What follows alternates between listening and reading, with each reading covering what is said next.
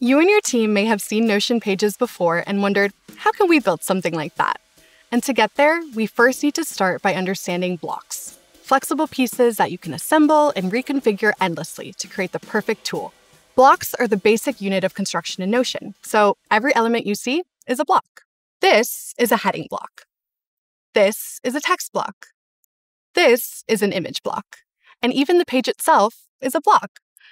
In total, there are over 500 more to choose from, covering every kind of content you might want to include in your workspace.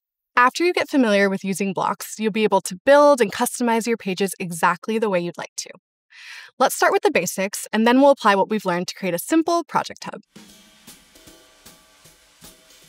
There's so many block types to choose from, and they fall into these main categories. The first is basic blocks. This includes text, headings, toggles, callouts, and pages themselves. Next, databases. These are collections of pages that you can organize and visualize in multiple ways, including a table, board, gallery, feed, or calendar.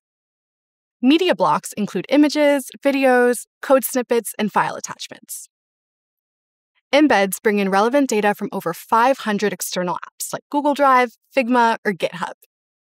And lastly, dynamic blocks include buttons, table of contents, AI blocks, and mentions of specific dates, people, and pages from your workspace.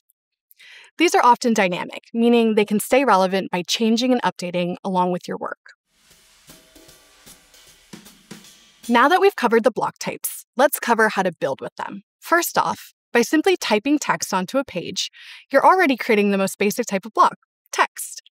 With text blocks, it's easy to format your content to make it more readable and visually appealing.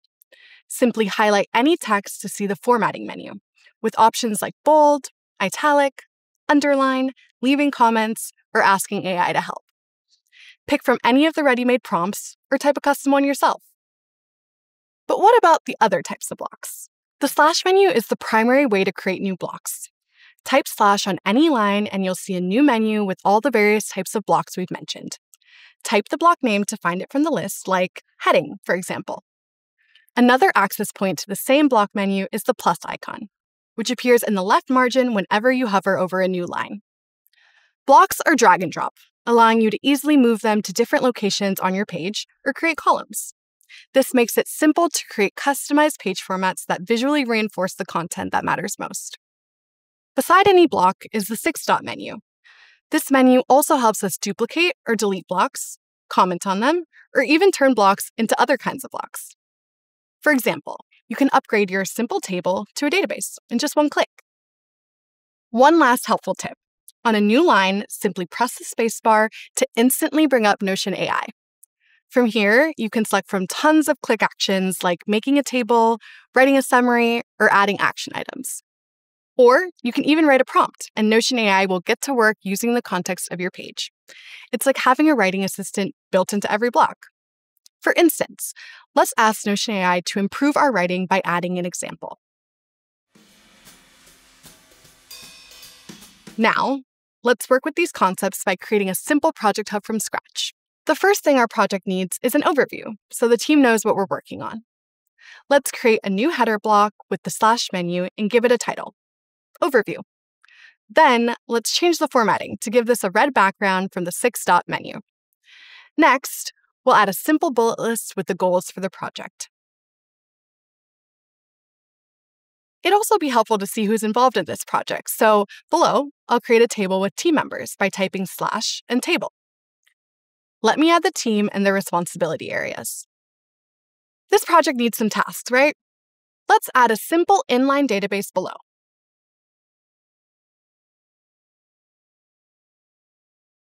Here, I'll add the name for the task, status, the person responsible, and the due date. And let's add an FAQ section. Using a toggle is a helpful way to hide information and make your page more clean.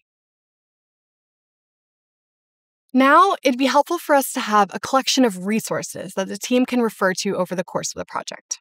I'll use the at mention to link to page, in this case, a strategy document. Let me add some other helpful links as well. Now, let's make this project hub a bit more compact and easily readable with columns. I'll drag and drop these blocks to format the page. And that's already looking better. We can make our Project Hub even more helpful with a touch from Notion AI. At the top of the page, let's type slash followed by a callout to build a space for an executive summary. Let's enter space in the callout and ask Notion AI to provide a quick summary of the project for anyone who visits the page.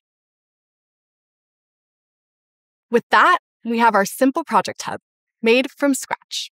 To recap, we've covered block types, the basics for working with blocks, and applying these concepts to our simple project hub.